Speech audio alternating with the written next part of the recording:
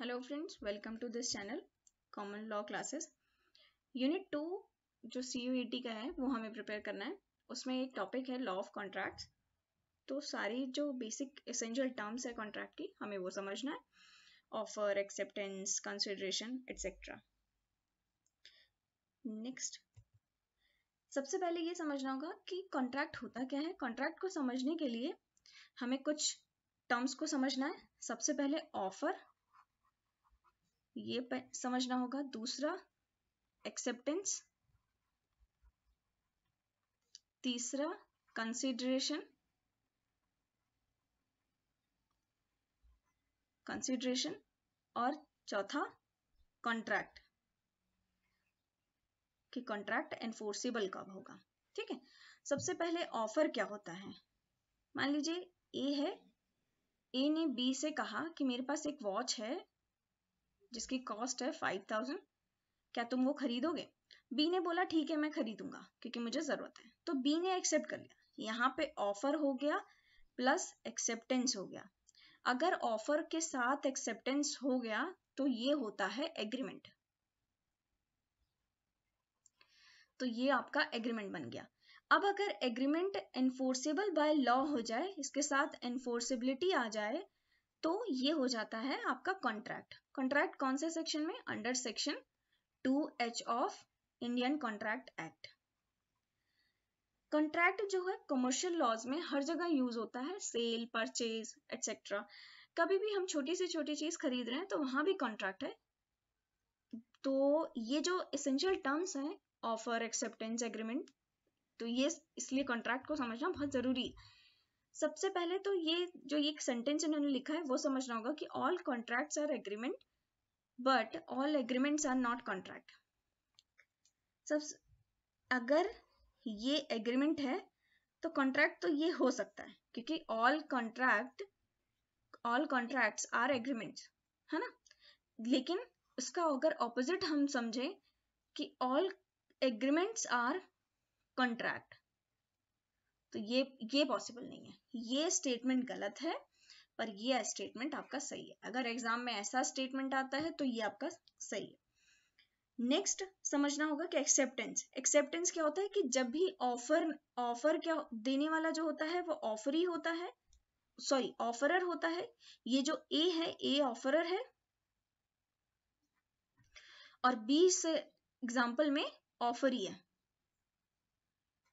Offer तो ये जो अगर ऑफरी ने अपना एक्सेप्टेंस इसको कम्युनिकेट कर दिया। ये कम्युनिकेट कर दिया इसने कि हाँ मैं एक्सेप्ट मुझे ये कॉन्ट्रैक्ट में कर मतलब अपना एक्सेप्टेंस दे दिया तो ये क्या हो जाएगा? एग्रीमेंट हो जाएगा। एग्रीमेंट एक तरह से जो समझा जाए, अगर एक सेंटेंस में इसको डिस्क्राइब करें कि एग्रीमेंट क्या होता है तो agreement is a agreement is a set of promise या is a promise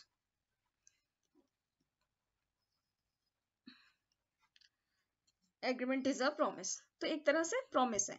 और एग्रीमेंट एनफोर्सेबल इन लॉ हो जाए तो वो कॉन्ट्रैक्ट बन जाता है। दोनों स्टेटमेंट की अगर बात करें, ये स्टेटमेंट की ऑल कॉन्ट्रैक्ट्स आर एग्रीमेंट तो ये तो करेक्ट है, पर ऑल एग्रीमेंट्स आर कॉन्ट्रैक्ट ऐसा नहीं है।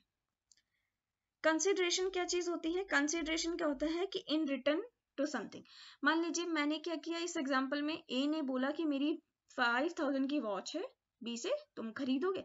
बी ने अपना एक्सेप्टेंस दे दिया कि हाँ मैं खरीदूँगा। तो ए को क्या मिलेगा? पाँच हज़ार रुपए। ए को मिलेगा यहाँ पर फाइव थाउज़ेंड रुपीज़ बी को क्या मिलेगी? वॉच तो ये जो दोनों चीज़ें हैं तो ये कंसिडरेशन है। कंसिडरेशन ऐसा नहीं होता कि पेक्यूनरी फॉर्म में ही होगा, आपके पैसे ही होने चाहिए। कुछ भी हो सकता है। कंसिडरेशन कुछ भी हो सकता है। है ना? और ये कंसिडरेशन हो गया। और कंसिडरेशन के बारे में एक चीज़ और समझते हैं कि क्या ये जो कंसिडरेशन है वो पास्ट के लिए भी हो सकती है प्रेजेंट या फ्यूचर के लिए हो सकती है? तो हाँ ये तीनों के लिए हो सकती है। कैसे? सेम एग्ज़ाम्पल में हम समझते हैं कि कंसिडरेशन पास्ट के लिए भी हो सकती है प्रेजेंट के लिए भी हो सकती है। प्रेजेंट का तो एग्ज़ाम्पल ही हमने समझ लिया कि वो प्रेजेंट उसमें कि ठीक है, आपने मुझे वॉच दी, मैंने आपको फाइव थाउज़ेंड दिया। तो ये तो हो गया प्रेजेंट कंसिडरेशन और अगर फ्यूचर की बात करें तो ये फ्यूचर में भी हो सकता है। मान लीजिए बी कहता है कि मैं आज वॉच ले लेता हूँ तुमसे, तुम्हें मैं जब मेरी सैलरी आएगी, तब पाँच हज़ार रुपए दे दूँगा। तो ये क्या हो जाएगा? फ्यूचर कंसिडरेशन हो जाएगा। लेकिन अगर पास्ट कंसिडरेशन की बात करें, मान लीजिए कभी बी के पैसे लिए हूँ ए ने, पाँच हज़ार या छह हज़ार लिए हूँ तो बी ये कह सकता है कि अब तुम मुझे अपनी वॉच दे दो और वो पाँच हज़ार मेरे वहाँ पर एडजस्ट कर लेना जो तुमने मैंने पहले पैसे दिए हैं। तो ये पास्ट के लिए भी कंसिडरेशन हो सकता है। कंसिडरेशन पास्ट के लिए भी हो सकता है। बस।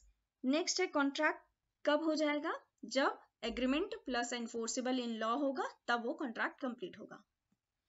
अगर एनफोर्सेबल बाय लॉ नहीं है तो that contract will be void contract next the following chart depicts the essential elements of a contract essential elements क्या है कॉन्ट्रैक्ट के? यही ऑफ़र एक्सेप्टेंस कंसिडरेशन भी हमने अभी समझ लिया कि कंसिडरेशन क्या होता है। पास्ट के लिए भी हो सकता है फ्यूचर और प्रेजेंट के लिए भी हो सकता है। कंसिडरेशन का लिटरल मीनिंग देखें तो इन रिटर्न टू समथिंग और कभी भी विदाउट कंसिडरेशन कोई भी कॉन्ट्रैक्ट वैलिड नहीं होता। बस एक सेक्शन है जो इसके बारे में बात करता है। Section 25 of Indian Contract Act ये बताता है कि कई ऐसी जगह पर ऐसा हो सकता है कि बिना कंसिडरेशन के कॉन्ट्रैक्ट इन्फोर्सिबल हो और वो वैलिड कॉन्ट्रैक्ट हो। अदरवाइज़ हमेशा जो है वैलिड कॉन्ट्रैक्ट के लिए consideration is a must consideration के बिना आपका वैलिड कॉन्ट्रैक्ट नहीं होगा। एक कंडीशन है। इस कंडीशन को समझते हैं जैसे ए है ए का कोई सन है एस ए क्या करता है? Out of love and affection इसके लिए बोलता है कि मैं तुम्हें एक लाख रुपए दूँगा और उसको रिटर्न में कर देता है और रजिस्टर कर देता है। Out of love and affection तो यहाँ पर ए के लिए तो कोई कंसिडरेशन नहीं हुआ, लेकिन फिर भी ये जो कॉन्ट्रैक्ट होगा, जो उसने लिख के दिया है या ये ये जो बोला है इसने तो ये जो कॉन्ट्रैक्ट होगा इसका, ये वैलिड कॉन्ट्रैक्ट होगा। अब नेक्स्ट टर्म है capacity to contract capacity to contract में हमें होना चाहिए ये समझना है कि कौन कौन है जो कैपेसिटी में है मतलब जिसके थ्रू कॉन्ट्रैक्ट हो सकता है। ये होना चाहिए 18 साल से अबब होना चाहिए मतलब मेजर और साउंड माइंड होना चाहिए। तीसरा है ये कि लॉ ने मना ना किया, ऐसा पर्सन जिसको मना ना किया गया हो कॉन्ट्रैक्ट में एंटर होने से। जैसे कोई आ, वो हो लुनाटिक इडियट इस तरह का पर्सन नहीं होना चाहिए। फ्री कंसेंट को समझते हैं। फ्री कंसेंट कंसेंट जो है आपका डिफाइन है under section thirteen of Indian Contract Act इसमें क्या है कि अगर दो लोग हैं दो लोग चीज़ों को सेम चीज़ को सेम सेंस में समझ रहे हैं तो वो कंसेंट है। जैसे ए और बी है। ए और बी के बीच में एक कॉन्ट्रैक्ट होता है ए अपनी कार बेचना चाहता है, ठीक है? तो बी कहता है, ठीक है, मैं तुम्हारी कार ले लूँगा। लेकिन ए के पास दो कार हैं, एक ब्लैक और एक वाइट है। बी समझ रहा है कि मुझे उसकी वाइट कार लेनी है और ए सोच रहा है कि मुझे अपनी ब्लैक कार बेचनी है। तो क्या क्या यहाँ पे वैलिड कॉन्ट्रैक्ट कंक्लूड होगा? नहीं। तो यहाँ पर क्या हो रहा है, क्योंकि वो सेम चीज़ को तो समझ रहे लेकिन सेम सेंस में नहीं समझ रहे हैं। तो यहाँ पर ये वैलिड कॉन्ट्रैक्ट नहीं बनेगा अब समझते हैं अनलॉफुल ऑब्जेक्ट कभी भी जो कॉन्ट्रैक्ट है, उसका ऑब्जेक्ट अनलॉफुल नहीं होना चाहिए। लॉफुल ऑब्जेक्ट के लिए ही कॉन्ट्रैक्ट हो सकता है। मान लीजिए ए ये कॉन्ट्रैक्ट नहीं करेगा बी से कि जाके पहले तुम उसको मार दो, तब मैं तुम्हें एक लाख रुपए दूँगा। अगर ऐसा कोई कॉन्ट्रैक्ट करता है तो वो अनलॉफुल कॉन्ट्रैक्ट है। डिस्चार्ज क्या है? डिस्चार्ज ऐसा है कि कॉन्ट्रैक्ट कब खत्म होगा। कॉन्ट्रैक्ट के साथ भी जैसे बाय परफॉर्मेंस हो सकता है बाय इम्पॉसिबिलिटी हो सकते हैं, बहुत सारी चीज़ें हैं, वो हम आगे वो उसमें स्लाइड में देखेंगे। नेक्स्ट है रेमेडीज क्या है? मान लीजिए किसी ने ब्रीच किया तो उसमें रेमेडीज क्या क्या है? ये सारी चीज़ें हैं। इम्पॉसिबिलिटी क्या है कि इम्पॉसिबिलिटी अगर किसी इवेंट में आ जाती मतलब मान लीजिए कोई कॉन्ट्रैक्ट है और अब वो एनफोर्स नहीं हो सकता। मतलब हो, उसको परफॉर्म करना मुश्किल है। तो ऐसे केस में क्या होता है कि वो इम्पॉसिबिलिटी हो जाएगी कॉन्ट्रैक्ट परफॉर्म ही नहीं किया जा सकता। यहाँ पे जो सिलेबस में सबसे पहला केस दिया है, वो केस है बेल्फर बेल्फर वर्सेस बेल्फर का। इस केस में क्या होता है कि हस्बैंड वाइफ है, ये दोनों छुट्टियों में जाते हैं इंग्लैंड हस्बैंड वाइफ और वाइफ जो होती है, बीमार हो जाती है। डॉक्टर इनको बोलता है कि पूरी तरह से आप रेस्ट करो बेड रेस्ट बोल देता है। तो ये यहीं रुक जाती है इंग्लैंड में और हस्बैंड का जहाँ बिज़नेस होता है, जहाँ वो एम्प्लॉयड होता है, वहाँ लौट जाता है सिलोन हस्बैंड बोलता है कि मैं तुम्हें थर्टी यूरो पर मंथ दूँगा पर मंथ तो वाइफ कहती है, ठीक है। कुछ महीने तक तो ये ट्रांसफ़र करता है मनी इसको भेजता है, पर कुछ टाइम बाद मिसअंडरस्टैंडिंग की वजह से ये रुपए देना बंद कर देता है। तो डब्ल्यू जो है एच को सू कर देती है। कोर्ट क्या कहती है? कि यहाँ पर कोई कॉन्ट्रैक्ट नहीं है। कॉन्ट्रैक्ट क्यों नहीं है? क्योंकि यहाँ पे कोई लीगल रिलेशन क्रिएट करने का कोई इंटेंशन ही नहीं है। No intention to create legal relationship no intention to create legal relationship court यहाँ पे बोलता है क्लियरली कि the decision clearly shows that agreements that create a legal obligation are only contracts and those agreements that do not intend to create legal relationship are not contract मतलब जिनका intention ऐसा नहीं है लीगल रिलेशनशिप में आने का तो वो कॉन्ट्रैक्ट नहीं है जहाँ पे ऐसी कोई इंटेंशन ही नहीं तो कोर्ट मना कर देता है कि एच की तो कोई इंटेंशन ही नहीं थी यहाँ पे लीगल रिलेशनशिप क्रिएट करने की नेक्स्ट बहुत इंपॉर्टेंट केस है ये Carlill versus Carbolic Smoke Ball Company ये क्या होता है, जो डिफेंडेंट कंपनी होती है, वो एक एडवर्टीजमेंट निकालती है। एडवर्टीजमेंट में क्या लिखती है, कि हम जो भी हमारे प्रिस्क्राइब फॉर्म में मेडिसिन लेगा, उसको इन्फ्लुएंजा नहीं होगा। अगर कंटिन्यूसली लिया 15 डेज़ के लिए तो उसको इन्फ्लुएंजा नहीं होगा। और अगर हो जाता है तो हम 100 यूरो को रिवॉर्ड देंगे। तो रिवॉर्ड कितने का था? 100 यूरो का।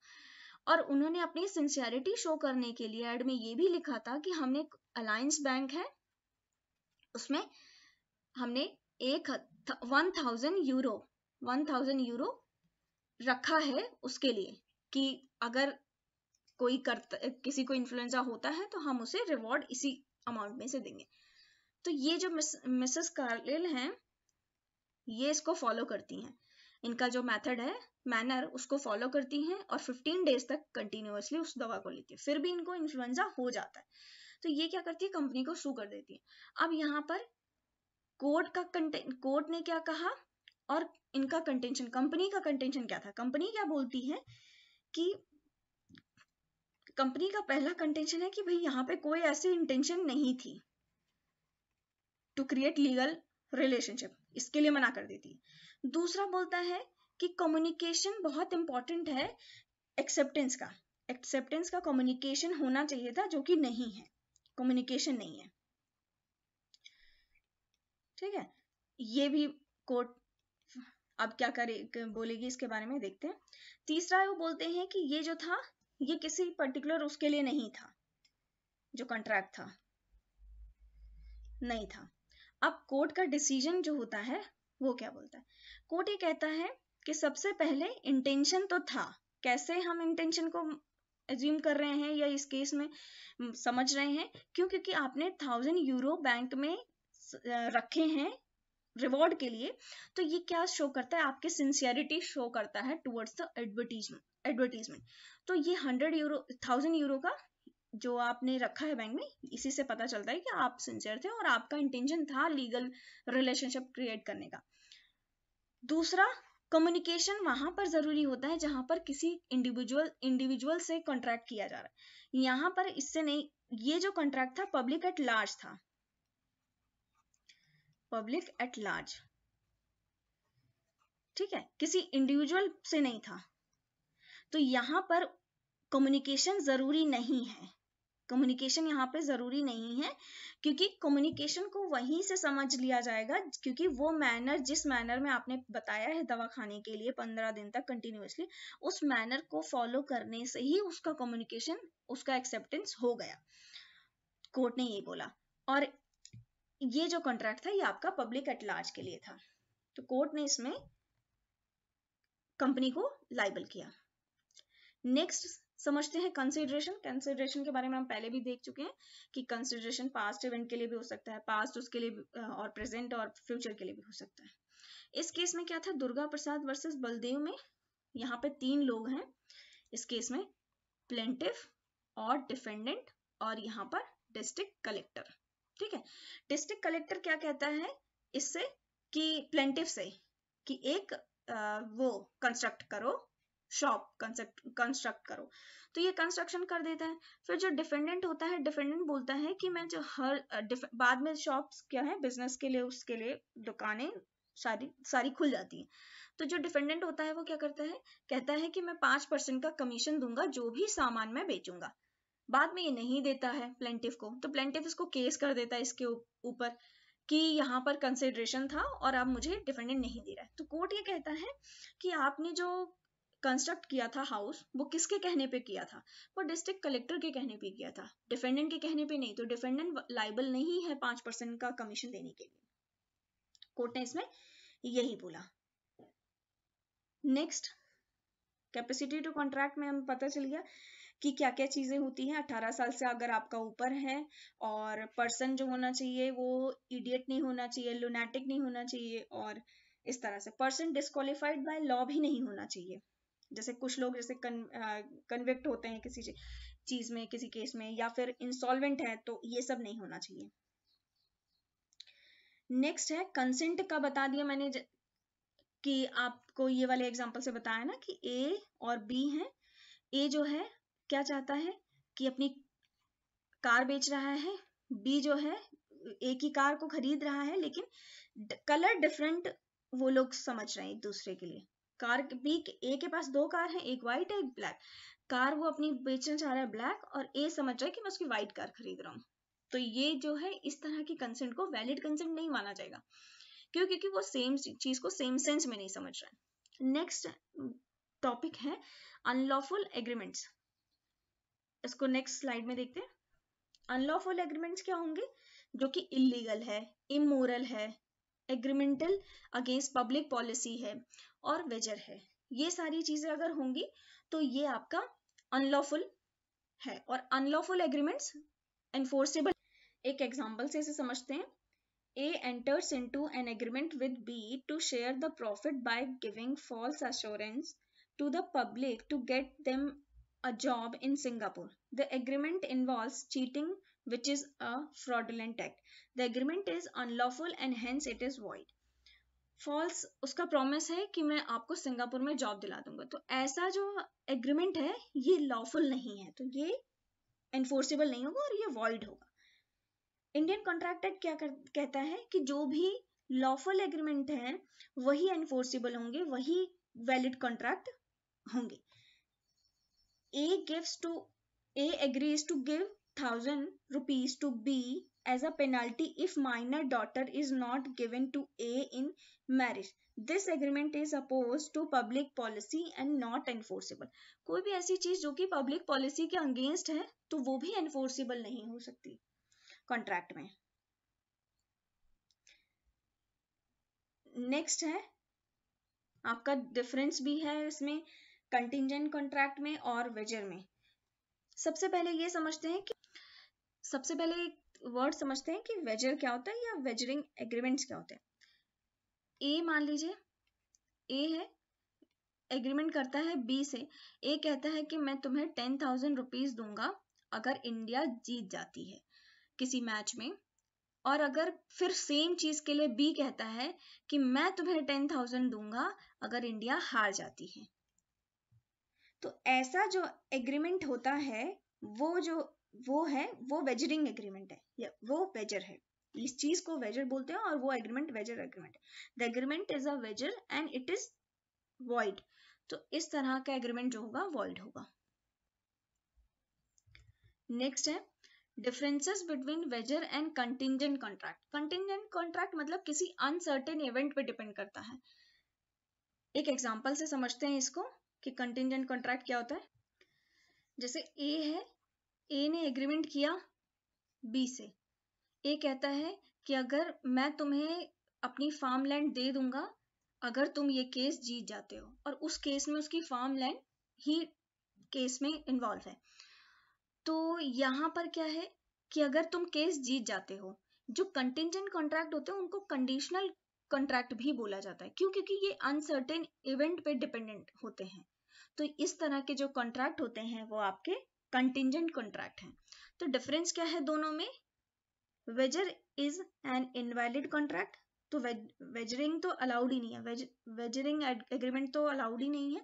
और contingent contracts are valid contract in wager there is always a reciprocal promise wager में क्या होता है? जैसे मैंने आपको एग्ज़ाम्पल दिया था ए और बी वाला। ए कहता है कि अगर इंडिया जीत जाएगा तो मैं तुम्हें टेन थाउज़ेंड रुपीज़ दूँगा। बी कहता है कि अगर इंडिया हार जाएगा तो मैं तुम्हें टेन थाउज़ेंड रुपए तो यहाँ पे क्या हो रहा है? रेसिप्रोकल प्रॉमिस हो रहा है। दूसरा क्या है? In contingent contract there is no reciprocal promise यहाँ पे रेसिप्रोकल प्रॉमिस नहीं है। ये नहीं कहा कि अगर तुम मेरी ये लैंड है और अगर ये जीत जाते हो तो मैं तुम्हें अपनी ये लैंड दे दूँगा। ये केस जीत जाते हो तो मैं तुम्हें अपनी लैंड दे दूँगा। तो यहाँ पे रेसिप्रोकल प्रॉमिस नहीं है। ए ने ही बी से बस प्रॉमिस कर रखा है। और अगर वो केस जी जाता है तो वो लैंड दे देगा। तीसरा क्या है? Third party do not have interest in wager third party may have an interest in contingent contract wager is contingent in nature contingent contract are never wagering क्योंकि वेजिंग एग्रीमेंट में बताया है ना कि रेसिप्रोकल प्रोमिस होते हैं promise होता है और इसमें तो है नहीं। ये सारे डिफरेंसेस थे आपके वेज, वेजर में और कंटिजेंट कॉन्ट्रैक्ट में। नेक्स्ट क्या है? डिस्चार्ज ऑफ़ कॉन्ट्रैक्ट तो डिस्चार्ज ऑफ़ कॉन्ट्रैक्ट कैसे होगा? डिस्चार्ज ऑफ़ कॉन्ट्रैक्ट कई तरह से हो सकता है। पहले तो डिस्चार्ज बाय परफॉर्मेंस आपको जो मान लीजिए ए ने कहा बी से कि भाई मेरी वॉच खरीद लो पाँच हज़ार पाँच हज़ार में।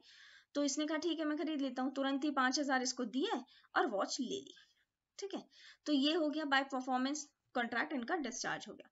डिस्चार्ज बाय एग्रीमेंट और कंसेंट मान लीजिए ए और बी है। ए ने कहा बी से कि तुम मेरी पाँच हज़ार की वॉच ले लो और मुझे पैसे दे दो। तो बी ने, पहले तो बी मान गया। बाद में बी कहता है, यार, मेरे पास इतने पैसे नहीं है, तुम ऐसा करो, मुझसे तीन हज़ार ले लो और कॉन्ट्रैक्ट खत्म करो। तो ए भी मान जाता है। तो यहाँ पर क्या हो रहा है कि इनकी कंसेंट से ही वो एग्रीमेंट वो कॉन्ट्रैक्ट डिस्चार्ज हो जा रहा है। इन लोगों ने अपना कॉन्ट्रैक्ट की टर्म्स चेंज कर दी सारी चीज़ें कर दी तो नोवेशन ऑफ़ कॉन्ट्रैक्ट कई बार हो, हो जाता है कई बार रेसेशन हो जाता है इस तरह से हो जाता है। तो ये जो कॉन्ट्रैक्ट है ये ऑल्ट्रेशन ये टर्म्स को ऑल्टर कर लेते हैं। तो इस तरह के कॉन्ट्रैक्ट को बोलते हैं डिस्चार्ज बाय एग्रीमेंट और कंसेंट तीसरा बोल रहे हैं discharge by impossibility of performance मान लीजिए, बोला था कि ए और बी के बीच में कॉन्ट्रैक्ट था कि मैं तुम्हें अपना ये वाला घर बेच दूँगा। ए ने कहा, मेरा एक घर है जो कि फिफ्टी फिफ्टी लैक्स का है तो वो मैं तुम्हें बेच दूँगा। बाद में क्या होता है कि इसका घर ही ऐसा अर्थक्वेक आ जाए या फिर आग लग जाए, उसका घर ही डिस्ट्रॉय हो जाए। तो जो सब्जेक्ट मैटर ऑफ़ कॉन्ट्रैक्ट है, वो ही डिस्ट्रॉय हो गया। तो अब जो है परफॉर्मेंस नहीं हो सकता। तो discharge by impossibility of performance lapse by time हो जाए, अगर कोई कॉन्ट्रैक्ट किया है जिसमें टाइम एसेंशियल है तो अगर ऐसा हो जाता है तो उसका मतलब नहीं होता कॉन्ट्रैक्ट परफॉर्म करने का। तो उसकी वजह से कॉन्ट्रैक्ट डिस्चार्ज हो जाता है। Discharge by operation of law मान लीजिए आज है यहाँ पे किसी चीज़ को बेचना अलाउड है। ए ने एग्रीमेंट किया कि मैं तुम्हें ये चीज़ बेच दूँगा।